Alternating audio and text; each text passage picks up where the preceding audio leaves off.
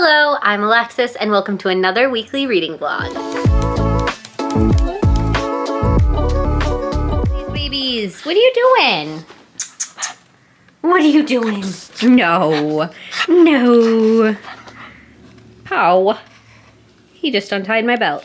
I wanted to take this opportunity to say hello and start this vlog because I actually had to get dressed up and go into the office today. This only happens like a few times a year, maybe like two times a year when somebody important comes in. So my boss was in town today. Wow, that lighting's terrible. Let's turn around. Um, so my boss was in town today, so I had to work half the day in the office. Not had to, but you know, I agreed to, to hang out with him talk to him in person. So just got home, going to continue working now that I'm home, but wanted to show you my outfit because I feel really cute and dressed up today. We're playing professional Barbie today. Got my nice little work pants on that are so stretchy and comfortable and feel like leggings.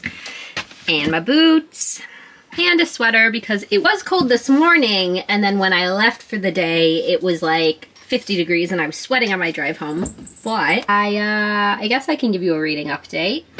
Okay, we're back in my normal spot in my desk. Ignore the mess behind me. That's my partner's gaming desk that doesn't see much gaming, it's really just a place for his laundry. Welcome to another weekly vlog. If you watched last week's, you know that I am currently making my way through An Education in Malice by S.T. Gibson.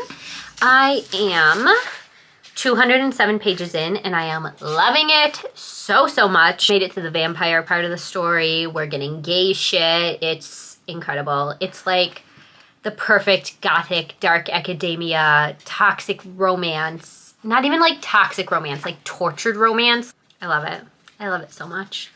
I really just need to sit down and finish it because Every time I'm reading it, I'm devouring it and I don't want to put it down, but I've just been so busy that I'm not picking it up. So I have less than 100 pages? No, I have like 150 pages. I can definitely finish that today. Hmm. I will try to make time for it. Um, it's Tuesday, so Tuesday's a gym day. I already uploaded my YouTube video for the day though, so I don't have to spend time editing. I might edit last week's vlog, the one that would be up by now, um, because yeah, I'm trying to edit a little bit every day, and that way I don't have to spend hours editing before I post a video. That is the goal, to just get more in the routine of editing all the time. Other than that, I did start an audiobook. This is my physical book, and I like to have an audiobook going, which is The Art Thief by Michael Finkel. This one's wild. Um, I want to say I'm like 25, 30% of the way in, and it's really, really short. So if I actually spend any time listening to it, I could probably finish it very fast, but I didn't feel like it yesterday. I listened to music. And then today I had to go into the office. And while I could have listened to my book while I was working, I just kind of wanted to like talk with my coworkers that I never get to see in person because we all work remotely. So that was nice. Um, but yeah, I will maybe listen to this a little bit at the gym. This is about an art thief who took over $2 billion worth of artwork over his lifetime. He was just stealing from art museums and finally he got caught. And it's just so wild. Can't believe I've never heard of this man before then.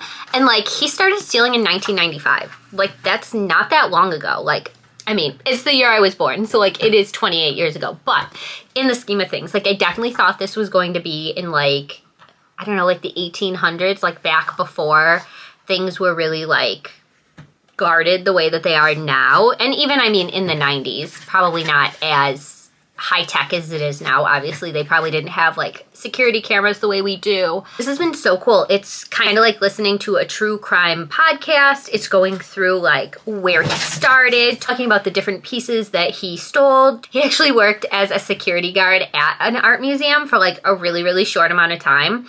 Um, so he kind of just had like insider knowledge of like, this is the shifts the guards take. This is the rounds they do. So like, you know, here's a good time to steal. And he had his girlfriend working with him as the lookout. So she would be like watching the door and then he would like what did he what does he use? Like a pocket knife or something or a screwdriver? He like literally only uses one tiny little tool and like just gets away with all this stuff. And the craziest part, he doesn't even sell the artwork. Like this guy is a loser. Like So number 1, he's a criminal, right? Cuz he's stealing art. But number 2, he's not even selling it. This guy lives in his mother's attic, doesn't have a job, with his girlfriend who's a nurse who's supporting him and he has billions of dollars worth of artwork in his attic apartment doesn't sell it doesn't contribute to this relationship at all literally just steals artwork for a living just to decorate his house with like he keeps saying like i'm not in it for the money like i'm not really a real thief because i'm doing it because i appreciate art so much like i'm loving the book but the the guy, the um, I didn't even tell you what the guy's name is. Um, Stefan Breitwieser. He's a loser. like I can't believe. Like and, and the girlfriend too. Like it's one thing to like do this if you were getting something out of it, but like what is she getting out of this? So yeah, those are the plans for the week. Um, I don't know what else I want to read after. I am just going to focus on these and then we will pick a book together when I finish them. But I've got to get back to work. And yeah, I will talk to you in a little bit.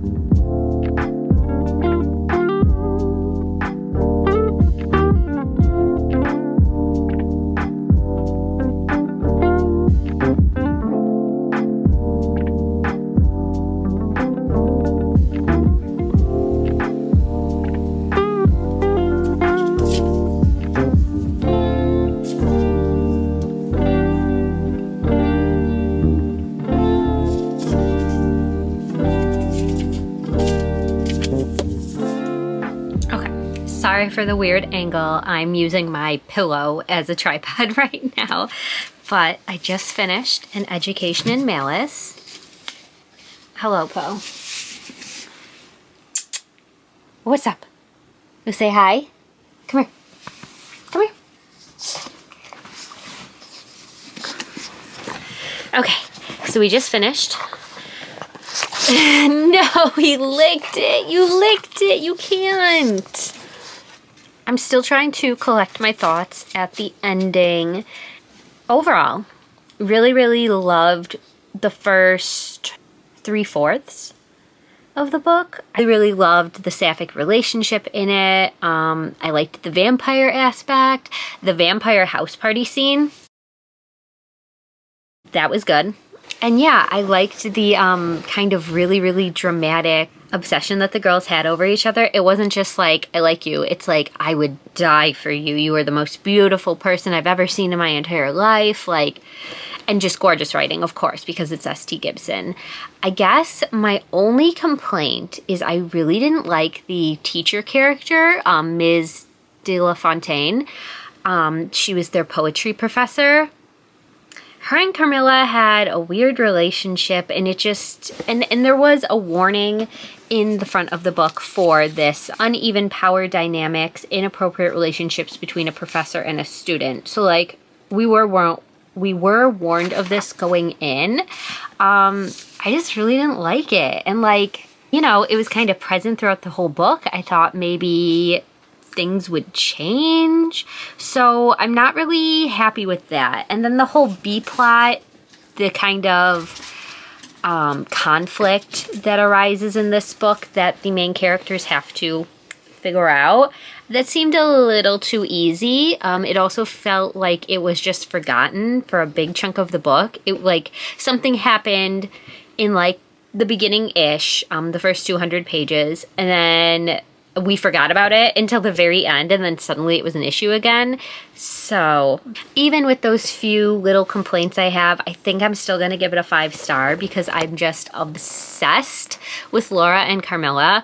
Like, they might be one of my favorite bookish couples I've read in a very long time. Like, S.T. Gibson knows how to write women because I had a crush on Carmilla just as much as Laura did. It did end with sort of an open ending where I could see there being a sequel. So I'd be very, very interested to pick that up if S.T. Gibson decides to write one. And there's just so much to explore. This one did have one of the vampires from A Dowry in Blood make like a guest appearance. So yes, if you liked A Dowry of Blood, definitely check this one out. I love it so much.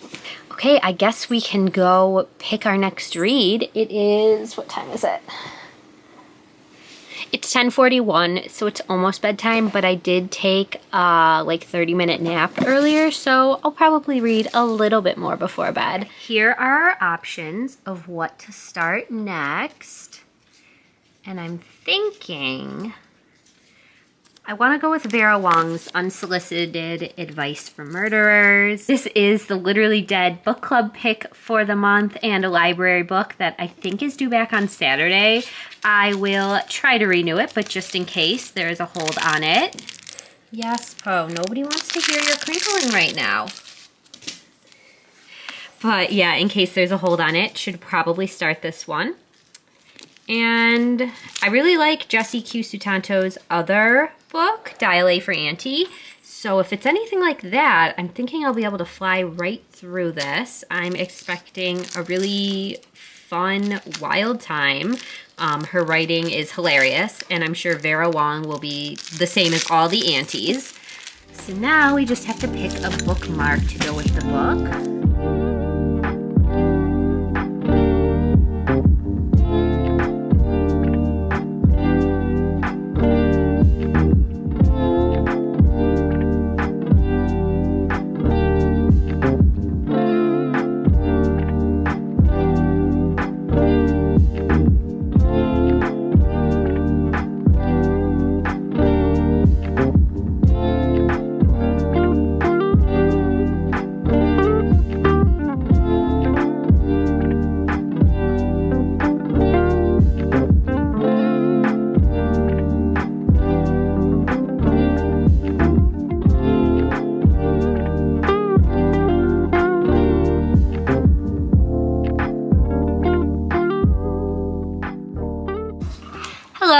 Friday. We just got back from dinner. We went out to eat at one of our favorite vegan places. I ended up getting this vegan chicken sandwich and Dan got a vegan grilled cheese. It was delicious. One of our favorite places for a reason. So now I am very, very full and sleepy, but there are some things to do and talk about. First up, Vera Wong. When I last spoke to you, I was just starting this and Bless you. And I have made it to the 50% mark. I am loving it so much.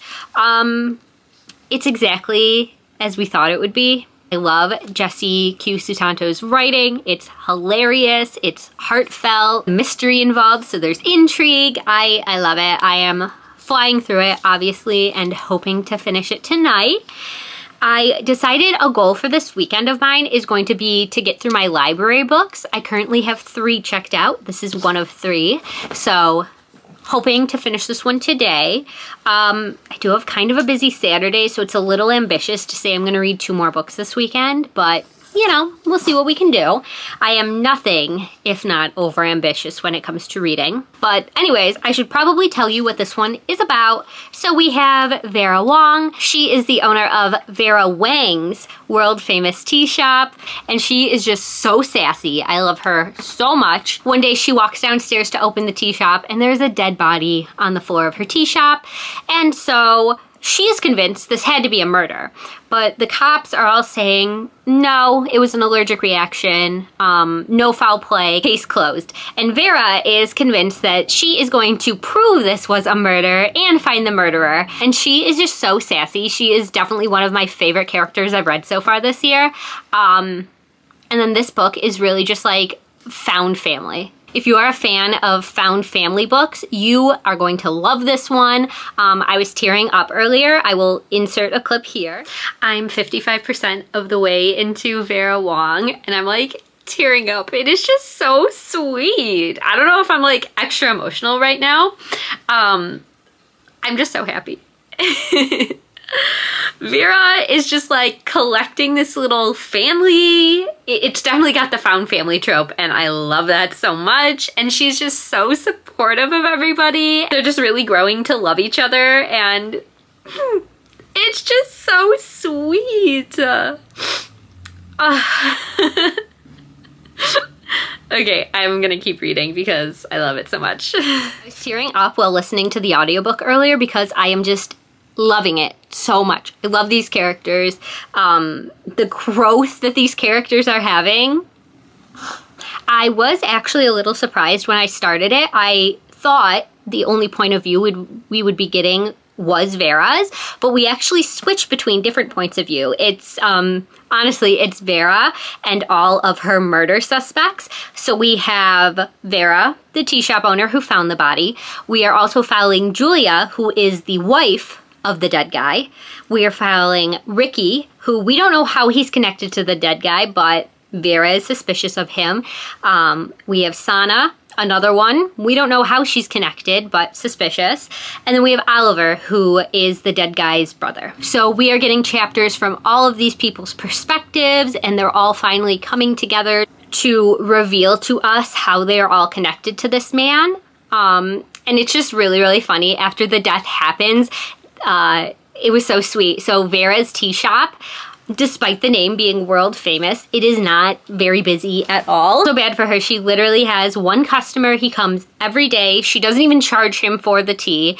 And, um, and then besides that, she's just a lonely woman. She she is really, really passionate about tea and taking care of people, and she just doesn't have customers coming into her tea shop.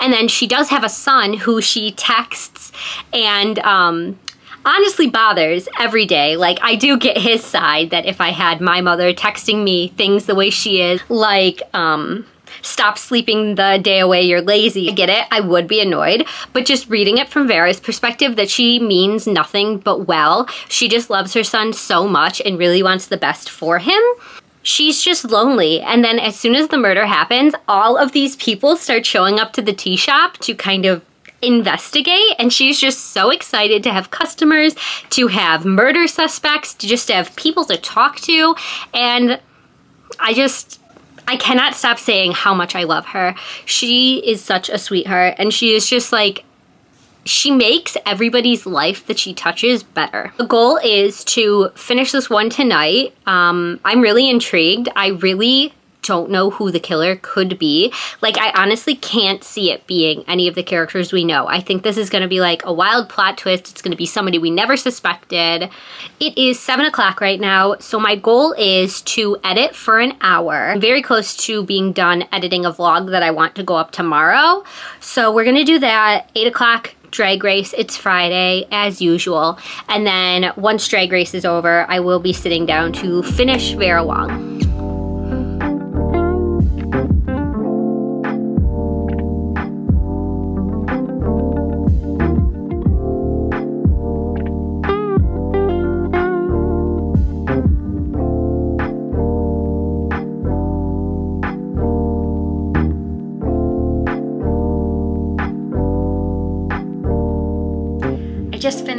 Wong and I'm trying to think of what I want to rate it. I'm trying to be like critical, but honestly, it was so cute and heartwarming. I think I have to go with five stars.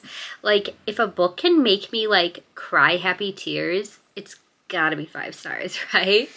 Um, so yeah, I love this one so much. I liked it more than Dial A for Aunties, um, a lot it it just had the found family trope and that's one of my favorite tropes ever. Just the way everybody came together to support Vera and gave her the family that she wanted and and, and she was just lonely without everyone and now she has people who appreciate her and and the twist at the end, it was well done. I liked how everything wrapped up. I think I mentioned this in my March TBR, but if you're a fan of Elle Cosimano and the Finlay Donovan series, I really recommend you check this one out. It's another one that like Vera just gets herself into these wacky situations. Crime is involved and somehow she gets away with it because she's just such a lovable character. And it just really had the humor the way that um, the way that the Finlay Donovan books have. So if you are looking for more books like that, definitely check out Jesse Q Sutanto. And that's not to say Dial A for Aunties was bad. I liked that one a lot too, um, which is why I'm surprised that I like this one more. Okay, so that's one library book done. Um, I think tonight, uh, it's late, it's already midnight. I am just staying up a little bit longer to wait for my vlog to process and upload. And while that's working, I'm probably gonna get a start on editing this vlog that we're currently in. So yeah, 30 more minutes of that and then I'll get into bed and I think I wanna start Once Upon a Broken Heart. We read like two pages and fall asleep, but that'll be the priority for tomorrow is to finish it maybe. Every time I say that in a vlog, I like take a week to read something. So maybe I should just stop talking. Um, but yeah. You know what? I think I have the audiobook for that. So that will help. I do have the audiobook. So I do have some things I have to do tomorrow. So at least I can listen to them. I guess I will talk to you tomorrow.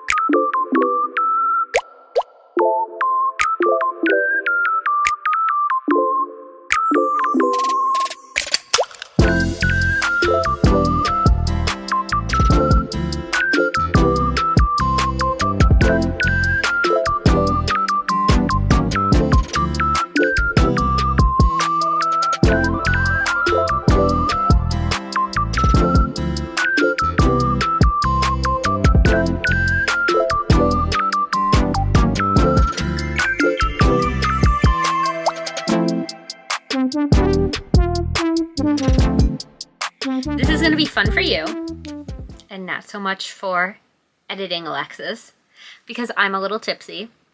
I just came from a Bandits lacrosse game. Insert clip here. It was very, very fun. I went with my friends. Um, I ate my weight in nachos and I had a $20 beer. And that was after pre-gaming a little bit at home. So, on top of sleeping like absolute garbage last night, I'm feeling good. Yeah. The point of me talking to you today, right now, is okay. We need to calm down a little bit. We're being a little too silly. I want to talk to you about this book. I started this last night. I actually, okay, I'm remembering. I told you I was going to start this last night, but I only thought I would read like a few pages because it was already like midnight or 1 a.m. Yeah, I ended up staying up until 2 a.m. reading this. And it's good.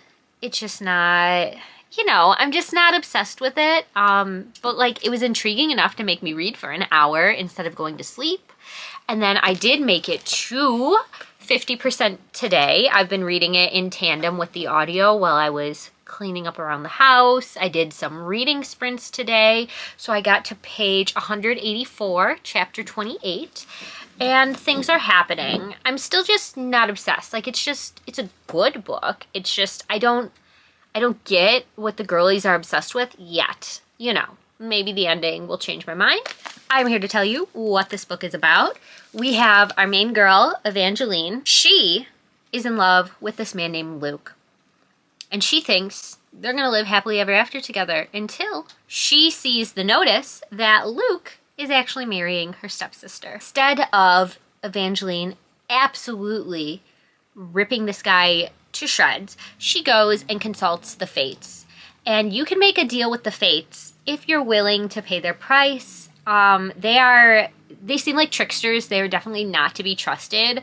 Like the deal you make is not the deal you're gonna get. So Evangeline goes to make a deal with the Prince of Hearts, also known as Jacks, and just right away you can tell something is up. So he agrees that he is going to stop the wedding between her sister Marisol. God, I've been I've been reading this book all day. I know the characters. He makes a deal with Evangeline that he will stop the marriage between Marisol, her sister, and Luke in exchange for three kisses from Evangeline.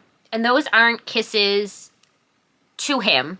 Evangeline doesn't have to kiss Jack for these, but she has to kiss whoever Jacks tells her to. So Evangeline agrees, and just right away she knows she makes a mistake. She goes to the wedding. Things are not what she agreed to, and just chaos goes from there. So far, I do like Jacks's character a lot. Um, he's probably my favorite. Like, I don't know. I just have a thing for like trickster bad boys. Like, I just, I know something's up his sleeve. I know him and Evangeline are gonna end up together in the end, or at least I'm delusional and hoping that they do.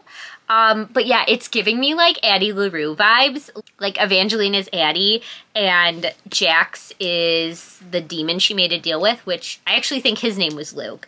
So that's funny, the like crossover there. But like, how are you gonna make this deal with this like trickster fate with this guy that is gonna go marry your stepsister? Like he clearly doesn't care about you. Like move on, live your life. Get a better guy.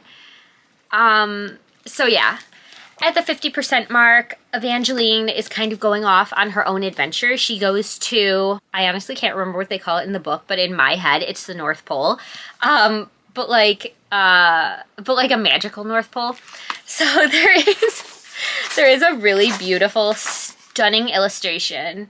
Okay, yeah, welcome to the magnificent North. Like, tell me that isn't the North Pole. You know, you, you get what I'm saying? So there's like this big party going on. The prince is trying to find a wife, and Jacks is there, causing chaos, um, making Evangeline give her kisses that she has agreed to. So yeah, we're making good progress. I'm gonna try to read a little bit more. That's my plan for tonight. Um, as always, Sunday mornings are our coffee shop date morning, so we will be going to get coffee. I will be bringing this with me and hopefully finishing it early tomorrow because I have at least one more book I want to finish this weekend.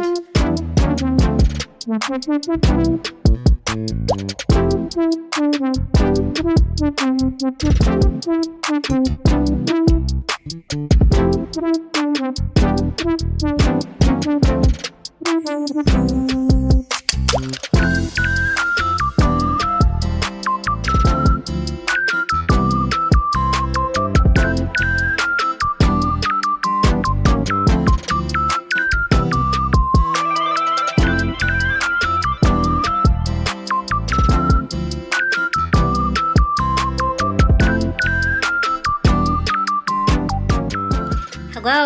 Sunday. We are starting our painting.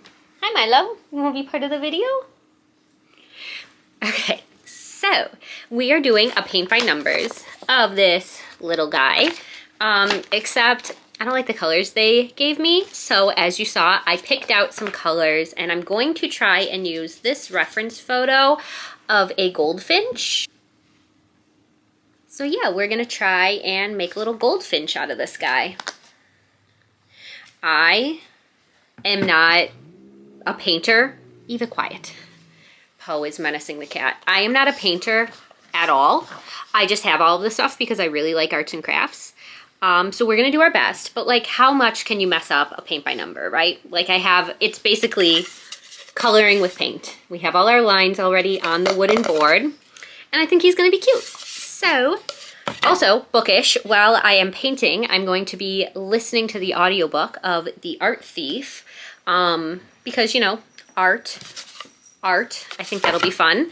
Um, it's a very short audiobook and I'm already like halfway through, so I should be able to finish it while I'm painting. I don't really know how long it's going to take me to paint this, but I'm only 31% into the audiobook. Okay, I thought I was farther let's see. We have about four hours left of the audiobook, but I listen on two times speed. So two hours to paint, probably even be done with the painting before then.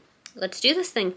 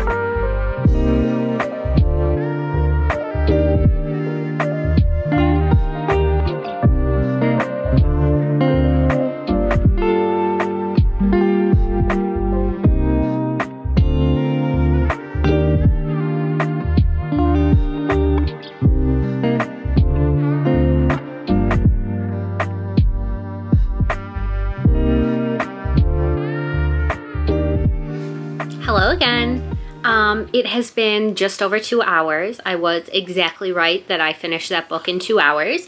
And here is the progress we have so far on the painting.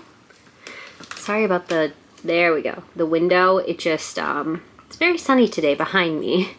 So it's good for when I'm working on the painting, but not trying to film. So, um, yeah, this is gonna take me longer than I thought. I'm gonna keep working on it because I'm having fun. Um, but I did finish The Art Thief. I liked it.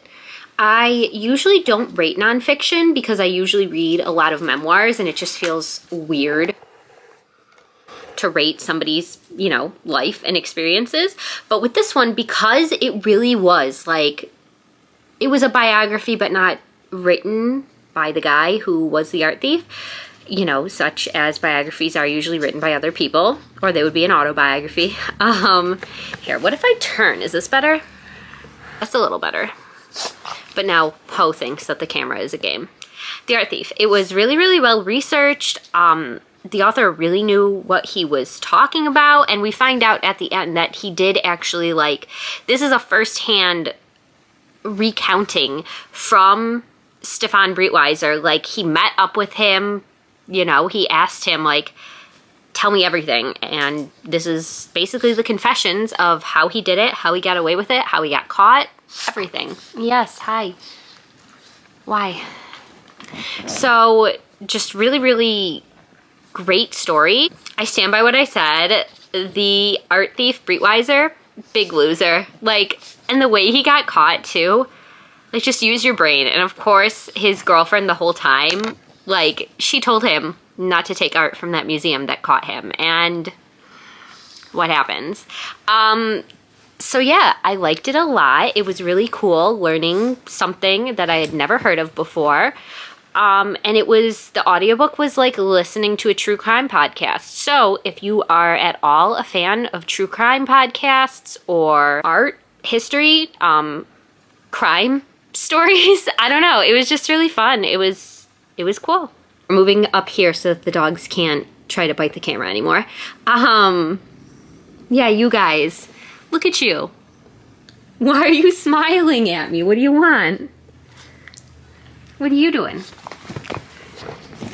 Okay, so the plan now is to keep painting, work on the bird. I would really like to finish this today. I think it's doable. I've got the Once Upon a Broken Heart audiobook to listen to. We did go on our coffee shop date this morning, but we invited some friends.